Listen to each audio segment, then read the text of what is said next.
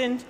Aber wir möchten Ihnen auch zeigen, wie wir das angehen, ähm, dass man auch mit Sportpferden so etwas durchführen kann, dass man mal eine kleine Abwechslung im täglichen Training mit einbauen kann, dass man mal Spaß haben kann mit den Pferden und nicht nur ans Training und an den nächsten Turniereinsatz denkt. Und wir sehen die beiden Pferde jetzt. Die große Fuchsstute wird geritten von Caroline. Ähm, die kommt auch, das ist meine Tochter, kommt aus Belum. Und Hanna kommt aus dem Rheinland. Die sitzt heute das erste Mal auf dem Wallach, ist extra eingeflogen, um uns hier so ein bisschen zu unterstützen, weil zwei Pferde sind immer interessanter. Jetzt sehen wir ja, aber jetzt sind sie ja aktuell noch ganz, in Anführungsstrichen, normal gezäunt. Wie Richtig. kommt das? Richtig. Also wir haben ähm, in der WBO 2018 quasi die gebisslose Zäumung mit aufgenommen, auch in, die, in den Wettbewerbsbereich hinein. Und äh, wenn man anfängt damit, ist es natürlich schon ganz gut, wenn man erst die gewohnte Zäumung auch auf dem Pferd belässt. Es gibt andere, die fangen mit gebissloser Zäumung an, mit dem Training der Pferde. Ähm, aber wir fangen immer mit der Trense an und von daher stellen wir dann um. Das macht durchaus für die Pferde dann auch Sinn, weil sie aus ihrer gewohnten Materie kommen. Und dann sehen wir ja auch, dann später für die gebisslose Zäumung gibt es ja auch schon wieder verschiedene Wege. Ich freue mich sehr, liebe Waltraud, ich überlasse dir jetzt mal komplett das Wort. Viel Spaß mit Ja. Waltraud Bünke. Vielen Dank. Ja, wir haben einmal ähm, den Halsring jetzt bei Hanna, den sie auch schon mit einsetzt. Und Caroline reitet mit Knotenhalfter. Wir haben in der WBO auch noch ähm, die Möglichkeit, dass mit Bosal geritten werden kann oder mit ähm, Sidepull. Die drei bzw. vier Zäumungen sind dafür vorgesehen damit äh, man da sich drauf beschränkt. Und vor allen Dingen, was wir nicht mit einbezogen haben, sind irgendwelche ähm, Einzäumungen, die mit einer Hebelwirkung einwirken. Wir wollten da wirklich die Pferde so hinarbeiten, dass sie zu einem natürlichen, ruhigen, gelassenen Bewegungsablauf sich entwickeln, dass sie leicht an den Hilfen der Reiterinnen sind und dass sie wirklich zufrieden auch mit ihren Pferden in, auf allen Wegen unterwegs sind. Wir sehen jetzt schon ganz gut, die beiden haben jetzt mit der Trapparbeit begonnen. Caroline reitet zunächst auch noch mal mit Trense, hat die Zügel vom Knotenhalfter mit in der Hand. Wie gesagt, das dient auch so ein bisschen ähm, der Vorbereitung, aber auch der Sicherheit in der Ausbildung. Ähm, die Stut, große Stute ist es nicht gewohnt, vor, auf so einer Messe zu gehen, wo alles so eng ist. Und äh, da hilft es doch durchaus, dass man sie erstmal so ein bisschen besser begleitet von der Einwirkung her und auch von der Hilfengebung her. Caroline wird nachher auch die Trense abbauen und dann nur mit Knotenhalfter reiten. Bei Hanna sehen wir jetzt, dass der Luigi sehr interessiert ist an seiner Umwelt, dass er aber trotzdem sehr gut bei der Reiterin ist, dass er sich überall hinsteuern lässt. Und wir legen jetzt erstmal Wert darauf, dass die beiden wirklich zur losgelassenen, zum entspannten Gehen kommen, dass sie dann auch anfangen, sich im Hals zu dehnen und dass sie sich überall und nachher auch in Hufschlagfiguren oder auch in Trailhindernissen reiten lassen. Ähm, wichtig ist, dass wir bei dem Reiten gebisslos auch mit dem Halfter oder Bosell oder mit dem Sidepull keine dauerhafte Anlehnung haben. Das ist der große Unterschied zum Reiten auf ähm, Trense. Wir bringen die Pferde nicht in einen Gesamtspannungsbogen ähm, hinein, sondern die Pferde müssen dabei lernen, sich selbstständig zu tragen, ähm, ihre Rückenmuskulatur auch wirklich mitarbeiten zu lassen, sodass sie dann auch in eine Dehnungshaltung hineingehen, sodass sie auch den Reiter sehr gut ausbalancieren können und mit dem Reiter zusammen in ähm, den verschiedenen Hufschlagfiguren arbeiten können.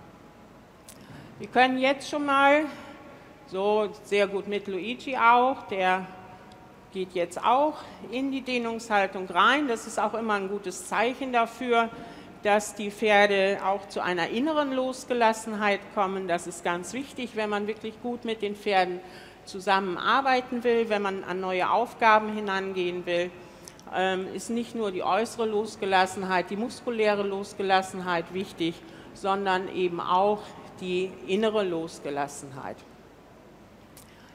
Wir werden jetzt mal im Schritt zunächst einmal beginnen mit den Pferden schon mal hier an der langen Seite durch den Slalom zu reiten und achten dabei mal darauf, ähm, wie die beiden Reiterinnen dabei auf ihre Pferde einwirken. Wichtig ist dabei auch, dass ich nicht nur mit, der, mit dem inneren Zügel quasi die Wendung reite, sondern dass ich wirklich auch im Sitz mich an die Hufschlaglinie, an diese gebogene Linie anpasse, dass ich da mit einer Drehung in der Hüfte und im Oberkörper mit einem begrenzenden äußeren Schenkel auch entsprechend die Linie für das Pferd vorgebe. Hanna setzt gleichzeitig auch den Halsring ein. Der Halsring wirkt natürlich immer auf die äußere Halsseite. So, Hanna, beim nächsten Mal reitest du ruhig, dass du dann wieder zurückkommst. Ich hatte eben das Gefühl, dass der Luigi so ein bisschen selber von der Linie abgewichen ist. Reite da auch konsequent weiter geradeaus, ähm, denn das gehört auch mit dazu. Wir wollen mit der Hilfengebung auch einen sicheren Weg reiten können. Die, bei Caroline sieht man das sehr gut, auch von der Drehung im Oberkörper her. Und dann reitet sie geradeaus und dann leitet sie erst die Rechtswendung ein. So, Hanna jetzt auch schön geradeaus reiten. Sehr gut. Genauso. Es kommt auch wie beim gesamten Reiten auf die Kleinigkeiten in der Hilfengebung an. Nicht die großen Aktionen sind wichtig, wir wechseln einmal die Hand, sondern die Kleinigkeiten sind wichtig in der Einwirkung, in der Hilfengebung und dann natürlich auch in der konsequenten Umsetzung. Wenn man auf die Kleinigkeiten achtet, dann hat man Freude und Spaß mit seinem Pferd, weil man nicht immer diskutieren muss, groß groß diskutieren muss, sondern weil man wirklich mit feinen Hilfen das Ganze entsprechend umsetzen kann. So, wir, Caroline noch einmal im Schritt. Und wenn du dann so weit bist, reizt du hinten hin und machst die Trense runter. Ne?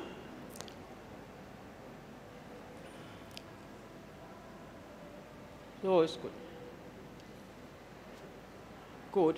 Bei Hanna ist es so, sie reitet jetzt auch schon die ganze Zeit nur mit der Einwirkung des Halsringes. Es ist aber in der WBO, also in der Wettbewerbsordnung, wenn man entsprechend Prüfungen reitet, vorgesehen, dass immer ein Kopfstück mit Zügeln auch auf dem Pferd sein muss. Das kann die Trense sein, das kann aber auch eine andere gebisslose Zäumung sein. Also wir wollen nicht ähm, nur mit dem Halsring unterwegs sein, gerade ähm, wenn der Reiter noch nicht ganz so sicher ist, ist es wichtig, dass er quasi noch eine ähm, Einwirkungsmöglichkeit hat, mit der er dann auch entsprechend agieren kann. Denn jedes Pferd kann sich mal erschrecken, kann mal umdrehen, kann mal woanders hingehen. Und äh, wenn man das auf äh, Wettbewerben quasi veranstalten will, muss die Sicherheit immer oberste Priorität haben. zu Hause in der eigenen Halle, auf dem eigenen Reitplatz, wenn der gut eingezäunt ist, äh, hat man immer das Gefühl, man hat das Pferd wirklich hundertprozentig bei sich und hundertprozentig auch von der Einwirkung her, dass man sich verlassen kann. Wenn man dann aber in eine andere Umgebung geht, müssen beide das auch zusammen erstmal erarbeiten und lernen. So. Gut, dann würde ich sagen, trabt ihr beide gleich nochmal an. Und reitet erst nochmal einmal so außenrum, bevor ihr dann nochmal in diese Schlangenlinie reingeht. So, wir sehen jetzt sehr schön auch mit dem Halsring, wie das Pferd sich anbietet, immer wieder in die Dehnungshaltung hineinzugehen, immer wieder auch zufrieden, einen sehr zufriedenen Eindruck macht. Und von der Einwirkung her sieht man sehr gut bei Hanna jetzt, dass sie immer auf der äußeren Halsseite einwirkt und dass sie aber auch dabei wirklich nur im unteren Halsbereich auf das Pferd einwirkt, weil in dem Halsbereich wirkt sie auf die Muskulatur ein. Wenn man den Halsring zu weit oben einsetzen würde, dann wäre man im Kehlbereich, in dem knorpeligen Teil des Kehlbereiches ähm, und das wäre nicht gut. So ist schön. Sehr gut. So, wir wechseln noch einmal die Hand und dann würde ich sagen, reitet ihr noch einmal den Slalom und dann beginnen wir mal mit dem Reiten von Übergängen. Denn auch das gehört dazu. Äh, man will ja die Gangart jederzeit auch an bestimmten Punkten wechseln können, genau wie im normalen dressurmäßigen Reiten auch. Ähm, so.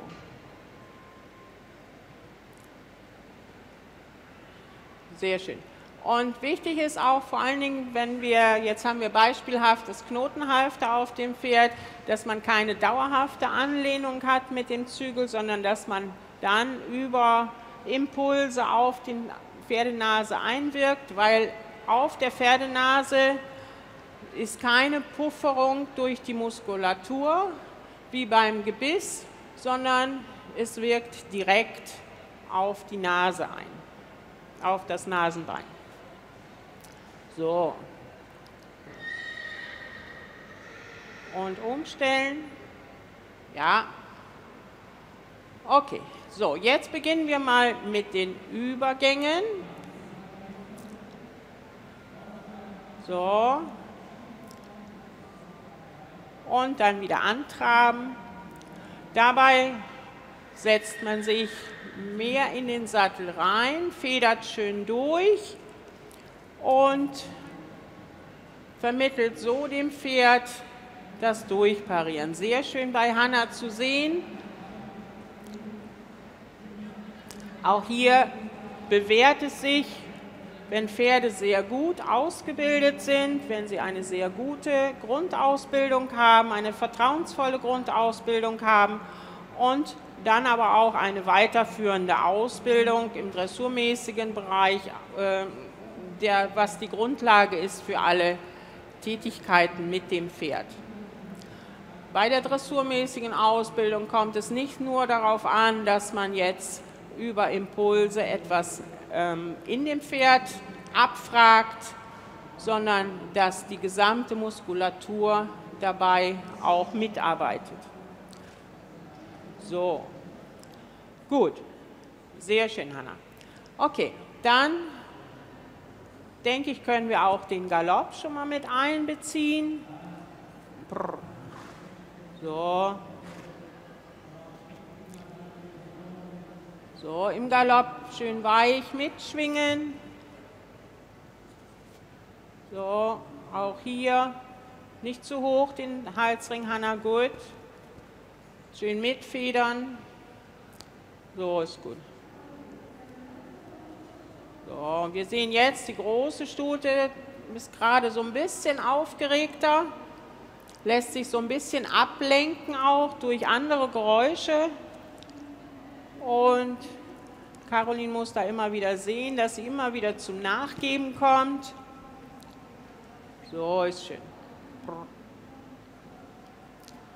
So, und auch da anhalten, einmal wieder zur Ruhe bringen das Pferd, einmal entspannt rückwärts treten lassen, auch das gehört mit zur Grunderziehung des Pferdes dazu, so ist gut. Denn die äh, Aufmerksamkeit des Pferdes, das ist das Wichtigste, muss immer beim Reiter bleiben.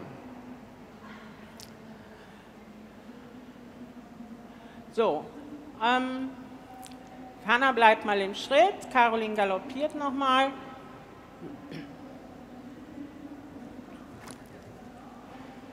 Und dann gibt es quasi in, in der Wettbewerbsordnung verschiedene Varianten von Wettbewerben. Wir haben einmal auch den, die dressurmäßige Aufgabe, wo eine Reihenfolge von Lektionen abgefragt wird.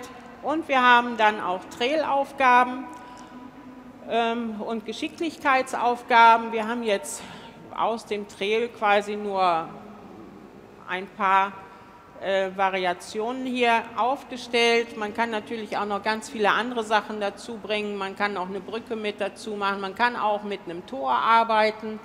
Man kann eine Sidepass-Stange mit reinnehmen.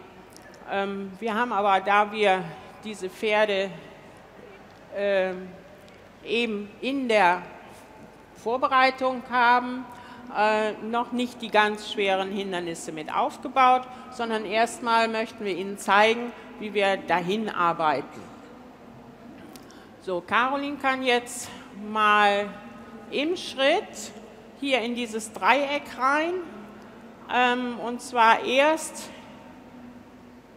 oh, von, wenn du von oben kommst, Caroline, erst die Rechtswolte, dann hier links eine Kehrtwolte und dann nochmal rechts eine Wolte um die andere Pylone. Da wird abgefragt, dass das Pferd auf kleinem Kreis im Schritt, später kann man das natürlich auch in, im Trab machen oder im Galopp machen, aber mit dem jungen Pferd auf jeden Fall erstmal im Schritt. Reizt so in der Mitte rein.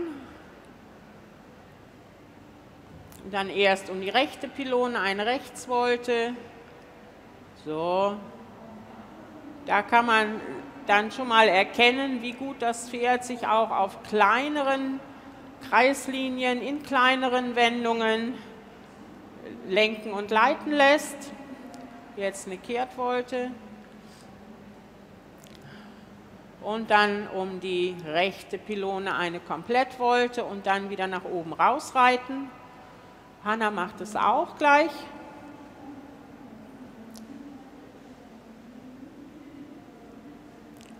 Wir sehen hier gut, dass Caroline immer wieder den Impuls gibt für die Wendung, aber dann auch immer wieder zum Nachgeben kommt. Das Pferd hat auch eine große Bewegung, von, einen großen Bewegungsablauf, von daher ist es dann natürlich auch immer etwas schwieriger So, wir sehen jetzt bei Hanna, Hanna dreht sich, auch in der Hüfte schön mitdrehen. So, rechts wollte, um die rechte Pylone. Sehr gut.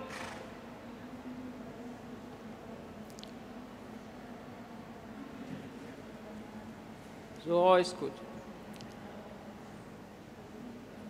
Gut. Dann kommen wir mal von der, ähm, wechseln wir mal durch die ganze Bahn und dann macht ihr das nochmal von rechts. Fangt ihr, von, kommt ihr von hier schräg und dann auch die rechte Pylone zuerst. Sodass man immer wieder verschiedene Aufgaben an das Pferd stellt, dass man nicht hundertmal das Gleiche hintereinander übt und ähm, dann so eine gewisse Grundroutine da sich einschleicht ähm, sondern dass man immer wieder variabel Aufgaben macht, um auch für das Pferd das Ganze ein bisschen spannender, ein bisschen interessanter zu machen.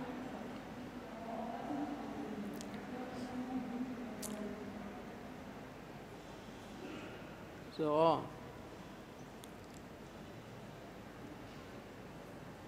Gut.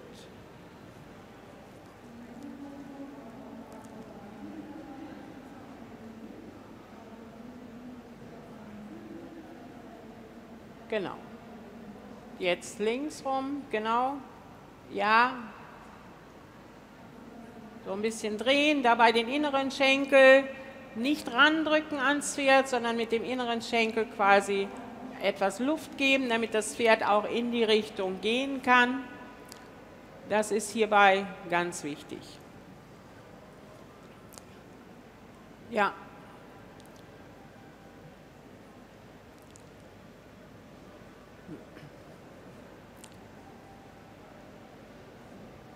So. Und wir sehen ganz gut den Unterschied bei den beiden Pferden. Der eine hat eine praktische Bewegung, die nicht so groß ist vom Bewegungsablauf und hier bei der großen Stute haben wir auch einen sehr großen Bewegungsablauf. Das heißt, der Raumgriff ist schon ähm, sehr gut, aber das birgt natürlich dann auch ähm, ja, gewisse Anforderungen an den Reiter. Er muss sehr genau auf den Bewegungsablauf des Pferdes achten damit er das auch so ökonomisch umsetzen kann von der Hilfengebung her, dass er das Pferd nicht stört, sondern dass er das Pferd auch wirklich begleitet und dann entsprechend ähm, die Hilfengebung einsetzt, in dem Moment, wo das Pferd sich auch vom Boden ab, ähm, den, den Fuß vom Boden wegnimmt. So, jetzt würde ich sagen, machen wir noch eine andere Übung und zwar hier in das Viereck rein.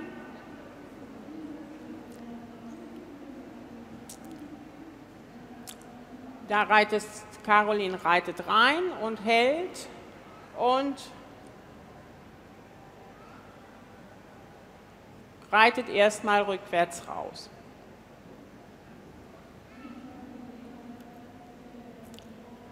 So ist gut. Auch das als begrenzenden Faktor für das Pferd, für das Sichtfeld des Pferdes ist es da ganz gut und für das Pferd durchaus auch gut nachzuvollziehen, dass es aus dieser Parkbox raus, rückwärts geht, weil vorne eine Grenze ist. Man kann das Ganze auch mit Stangen aufbauen, das geht natürlich auch. Ähm, und dann aus dieser Gasse wieder raus. So, Hanna probiert das auch mal aus der Gasse wieder raus und dann ganz normal im Vorwärts wieder weitergehen.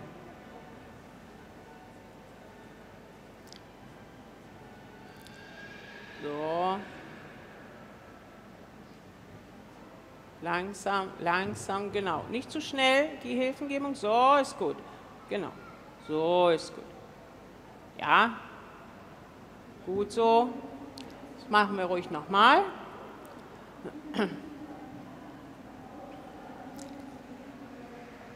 Bei Hannah konnte man sehr deutlich auch die Impulse sehen, die sie an das Pferd herangegeben hat, über den Halsring.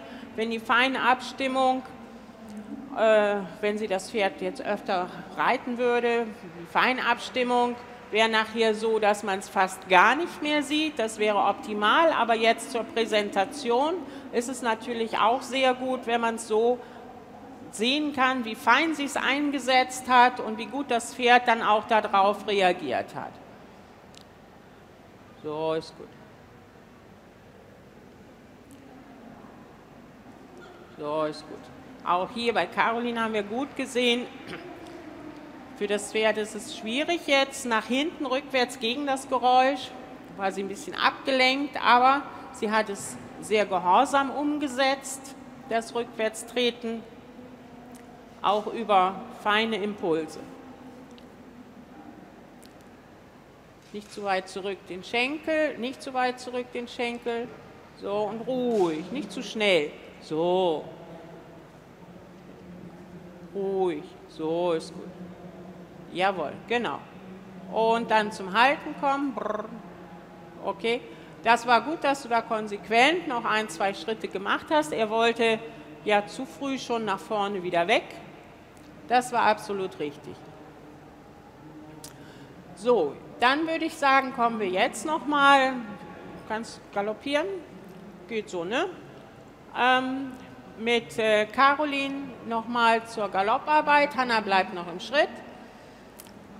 Und äh, dass Caroline dann selbstständig ihr Pferd reitet.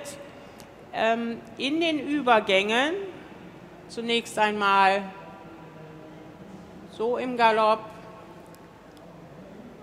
und dann vermehrt in die Übergänge hineinarbeiten, dass das Pferd dann reagiert. So ist gut.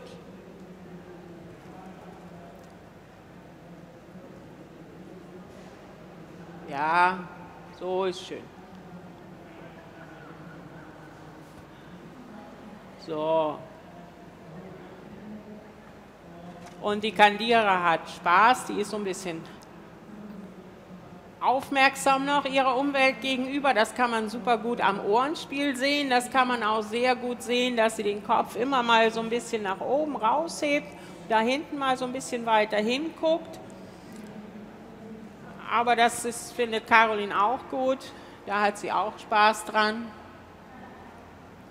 So ist gut. So, und dann kannst du auch gleich mal durch die ganze Bahn wechseln mit einem Übergang auch über den Trab. So ist schön. Gut so. Und wir sehen sehr gut, wie äh, losgelassen die Stute danach im Trab sofort wieder weitergeht. So ist es brav.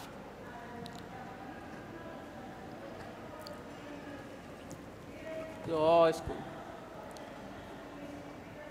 Gut.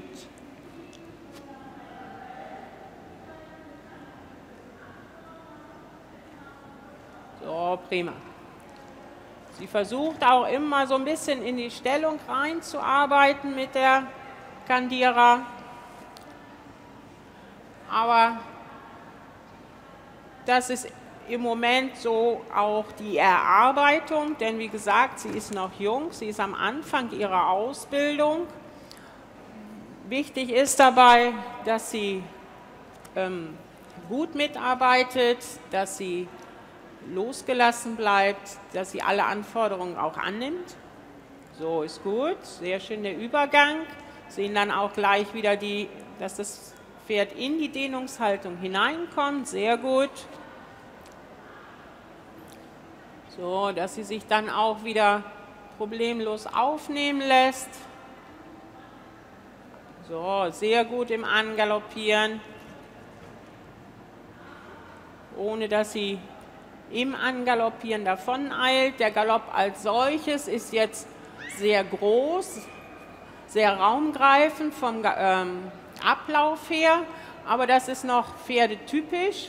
Das wird sich im Verlauf der Ausbildung dann noch verbessern. Da wird sie dann auch noch gesetzter galoppieren können, auch von der Länge ihres Galoppsprungs variabler zu reiten sein. Aber im Moment ist es wirklich so, dass wir sie so, wie sie ihre Grundgaloppade anbietet, erstmal galoppieren lassen, dass sie dabei an den Hilfen ist, dass sie sich lenken und leiten lässt, dass sie die Richtung annimmt, dass sie das Grundtempo annimmt, ohne sich in irgendeiner Form ähm, festzumachen oder davoneilen zu wollen. So, ist wechselst du gleich nochmal die Hand auch.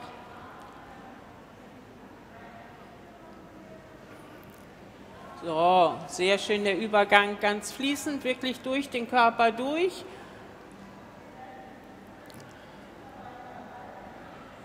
So, immer wieder das Anbieten der Dehnungshaltung, das Annehmen der Dehnungshaltung von beiden Seiten Wenn das Pferd nicht bemüht ist, in die Dehnungshaltung zu gehen, dann hat der Reiter es auch schwer, sie zu erreichen. Aber das hat wirklich auch was mit innerer und äußerer Losgelassenheit zu tun. Obwohl die äh, Kandira schon abgelenkt ist in allen Bereichen, ähm, ist sie trotzdem sehr auf die Reiterin fokussiert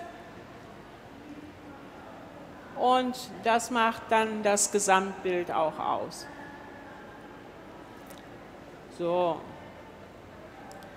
Wir sehen aber auch, dass ein elastischer, unabhängiger Sitz wichtig ist für das gebisslose Reiten, dass ähm, der losgelassene Sitz natürlich auch viel geschmeidiger auf das Pferd einwirken kann, egal ob ich nun einen sehr raumgreifenden Bewegungsablauf habe oder einen praktischen Bewegungsablauf. Das gehört alles zusammen. Der fließende Übergang dann auch in den Galopp hinein. Sehr schön. Und jetzt wird die Stute auch schon ein bisschen ruhiger, kommt so ein bisschen mehr, dass sie sich auch treiben lässt. Und sobald man mehr zum Treiben kommt, wird der Galoppsprung automatisch auch so ein bisschen geschlossener, so ein bisschen kürzer.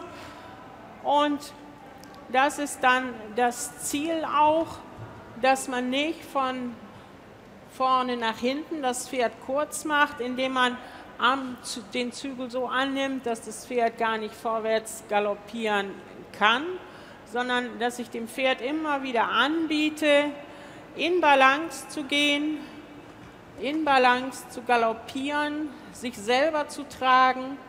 Sehr gut. So. Und dann kannst du noch einmal und machst so, versuchst noch mal so einen Übergang, der war eben fast zum Schritt, aber dass du es dann ganz zum Schritt hinkriegst. Gucken, ob das so auf Anhieb klappt. Wie gesagt, das ist dann auch immer eine Sache der Konzentration des Pferdes. Aber sie ist jetzt so weit, dass man das auch gut mit annehmen kann. So, da kommt es aufs richtige Timing an, auf das Gefühl für das Pferd, wann ist sie bereit, auch den Übergang zu machen. Und dann wird es kein perfekter Übergang sein, ganz zum Schritt. So, der war noch so ein bisschen auslaufend, aber das ist schon mal ein sehr guter Ansatz, wo das Pferd ähm, dann hinkommt. Wir haben jetzt gesehen, das prompte Angaloppieren aus dem Schritt heraus. Und das war super. Ja, sehr gut. Ich denke, ja, das haben die beiden sich verdient. So, und wir sehen jetzt auch das Kauen der Stute, auch ohne Gebiss, das Kauen und Lecken, was man auf Trense nicht zu intensiv haben will. Da sollen sie nicht die Zunge rausstrecken äh, und vor allen Dingen nicht dauerhaft. Aber wenn sie mit Halfter geritten wird oder auch gerade bei den jungen Pferden in der Bodenarbeit oder auch im Anfang der Ausbildung, kann man das sehr gut sehen, wenn Pferde mit sich und der Welt zufrieden sind, dann kauen und lecken sie auch, weil sie äh, ja, losgelassen sind, zufrieden sind. Und das ist immer ein Zeichen dafür, dass, äh, was man auch deuten kann und was dann ganz automatisch durch das Pferd auch ausgeführt wird. So, jetzt bleibt Caroline mal im Schritt und äh, Hanna wird auch so ein bisschen Galopparbeit zeigen. So, okay. So. Das war oh, ein bisschen ruhiger, Hanna. Erst ein bisschen ruhiger den Trab. Und ganz ruhig vom Angaloppieren her. Ja, nicht zu viel mit dem Schenkel machen, nicht oben den Halsring. So. Ähm, nur so ein bisschen die Drehung aus der Hüfte heraus, über den inneren, über das innere Sitzbein quasi den Galopp auslösen. Probier es gleich nochmal. So, das war viel besser. Der ist sehr fein in der in der Umsetzung der Hilfengebung. Hanna macht das sehr gut. Und wie gesagt, die sind heute das erste Mal zusammen. Der geht bei uns auch als Lehrpferd. Und äh, von daher ist das eine tolle Kombination. Sehr gut, ja. Da konnte man sehr gut sehen, dass Hanna sich wirklich darauf eingelassen hat, so mit ganz feiner Einwirkung da den Galopp auszulösen. Bleib mal oder wechsel mal einmal die Hand, genau.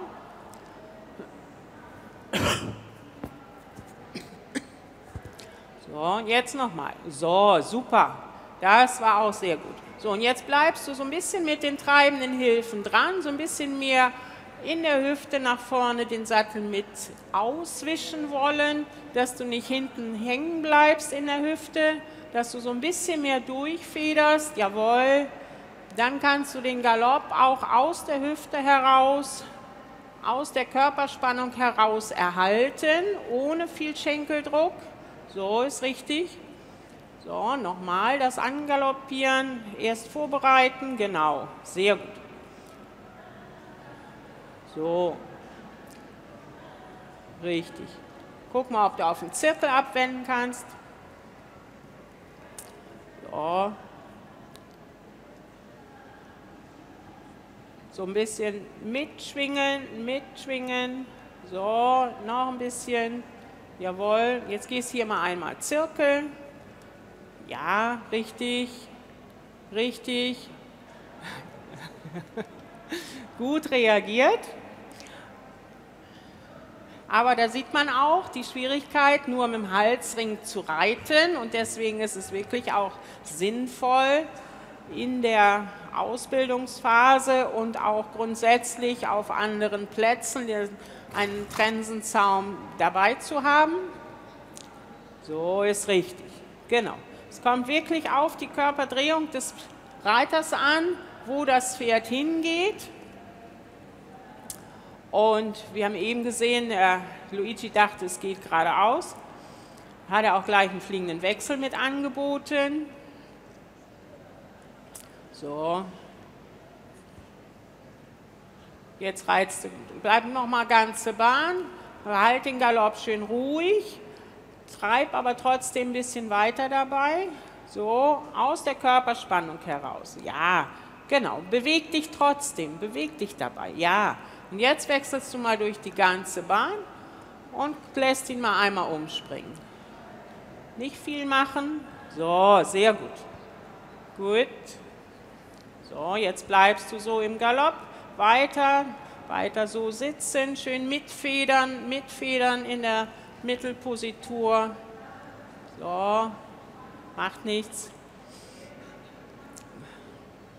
Einmal noch. So, und reizt nochmal durch die ganze Bahn. Nee, bleib. So, ist gut. Gut. Sehr schön.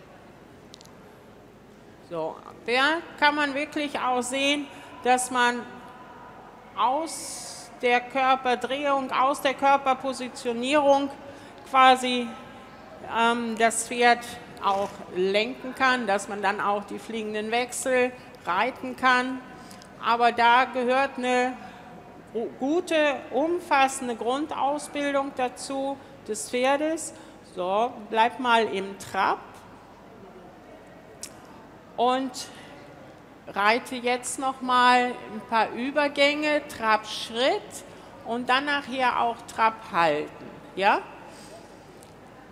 So, fühl dich rein ins Pferd.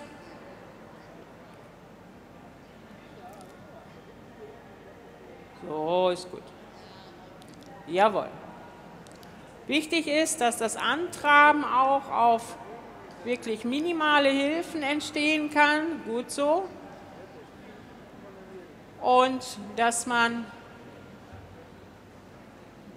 das Pferd wirklich nur so viel treibt, wie man auch vorwärts reiten möchte.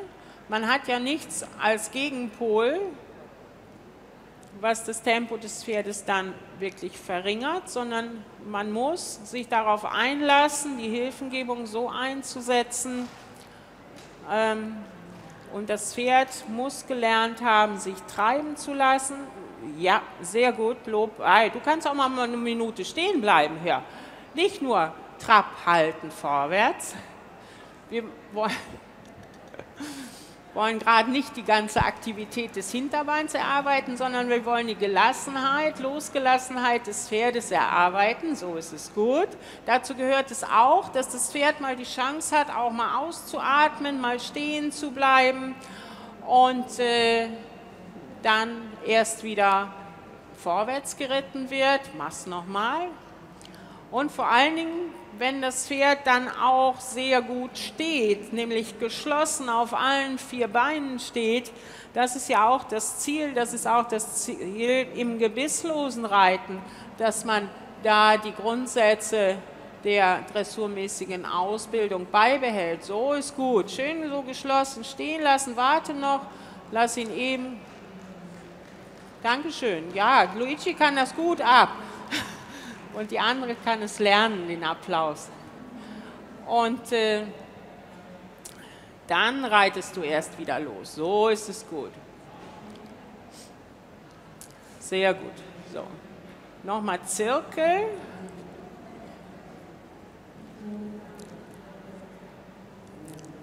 So.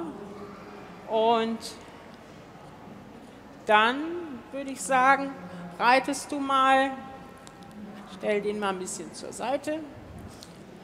Reitest du mal in das Viereck rein und hältst da drin an. Kommst du von oben, von der kurzen Seite auf der Viertellinie.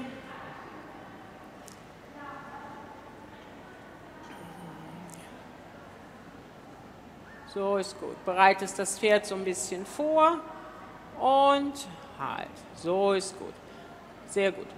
Am Anfang ist diese Übung, so wie wir sie vorhin im Schritt gemacht haben, durchaus auch sehr hilfreich, um das nachher so umzusetzen, wie wir es an der langen Seite gemacht haben. Auch nochmal rückwärts, langsam rückwärts, so, zurück, zurück, zurück, zurück. So ist gut. Stopp, stopp. Immer mit der Ruhe, warten. Warten gehört dazu. Wir müssen das Treiben und das Vorwärtsgehen des Pferdes gut einteilen. So ist es richtig. So, und jetzt reizt du im Schritt los und galoppierst mal an. Aus dem Schritt, rechte Hand und aus dem Schritt mal angaloppieren. So ist gut. Richtig. So. Genau. Und jetzt reizt du nochmal in das Viereck ein und parierst dadurch zum... So ist gut. Und halt. Gut. Hat er noch einen fliegenden Wechsel vorher angeboten, ne? Und er hat auch die Lücke gesucht. Aber sie haben es beide sehr gut hingekriegt. Er steht wieder geschlossen. Das ist das Wichtigste. Dass er ein bisschen schräg steht, ist dem fliegenden Wechsel zu verdanken. Das ist alles überhaupt nicht schlimm, denn das Pferd hat es gehorsam und sehr willig mitgemacht. Okay, nochmal. Jetzt machen wir es anders. Jetzt drehst du dich mal in diesem Viereck, nicht rückwärts, nicht so weit vorne. So, ist gut. Langsam, langsam, langsam, langsam, langsam. So, in der Ruhe liegt die Kraft. Gut. So ist es richtig. Reizt du nochmal raus. Und Caroline reitet jetzt nochmal in das Viereck rein und macht da auch eine Wendung. Mal gucken, die kann, nee, wie du es hinkriegst, ganz im Schritt reinreiten.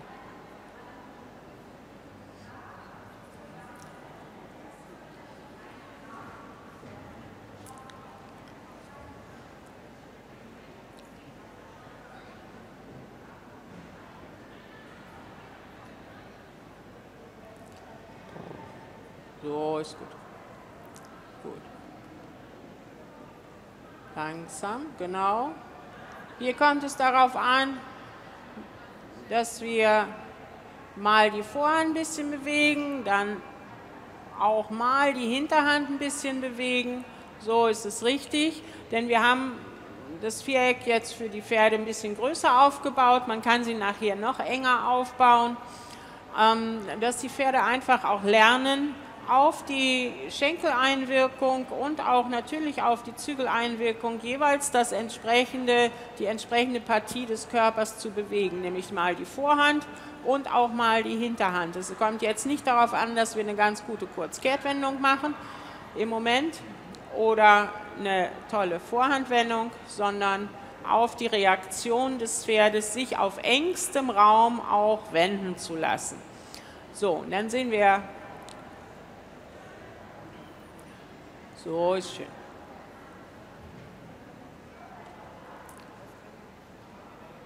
So, genau. Da draußen kommen jetzt gerade neue Pferde an, das ist ein bisschen abgelenkt. Gut, aber nichtsdestotrotz geht es dann so wieder weiter. Sehr gut. Gut. Okay. Gut. Dann können wir auch noch ein bisschen ähm, die Pferde mal seitwärts treten lassen, ganz bewusst an der Seite. Hanna hat es eben schon mal ausprobiert.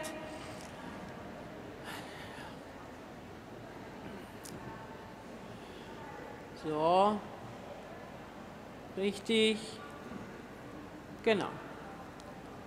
Das erstmal Viereck vergrößern. Das ist das, was die Fünfjährige jetzt auch schon mit anbietet und auch schon ganz gut umsetzen kann. So, und Viereck vergrößern nach rechts. Richtig. Okay. Und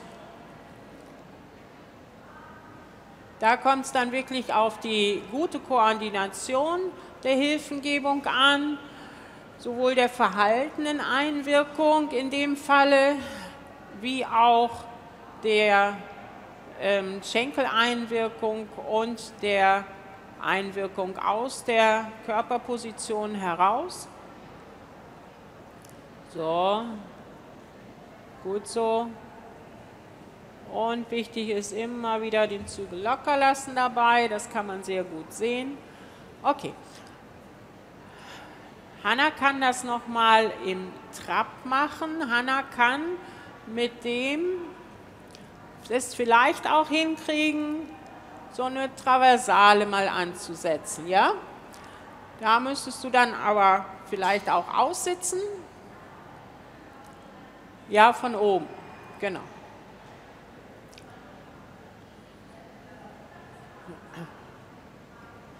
So, ein bisschen einwirken, ein bisschen verhalten. So, jawohl, jawohl. Ein bisschen rechten Schenkel, rechten Schenkel. Ja, gut so. Jawohl. Kommst nochmal. Ähm, es aber auf der Mittellinie ab, dann hast du es noch ein bisschen einfacher auch. Ja, mach. So, bisschen verhalten und seitwärts, jawohl. Sehr gut. Okay, gut. Nochmal nach zur anderen Seite auch. Caroline kommt auch.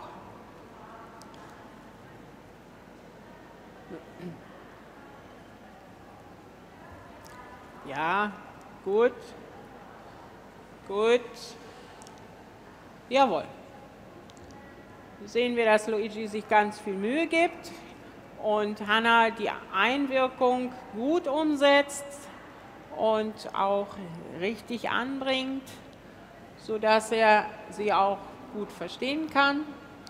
Und Caroline kann das auch schon so ein bisschen ansatzweise im Trab. Ja, das ist richtig. Jawohl.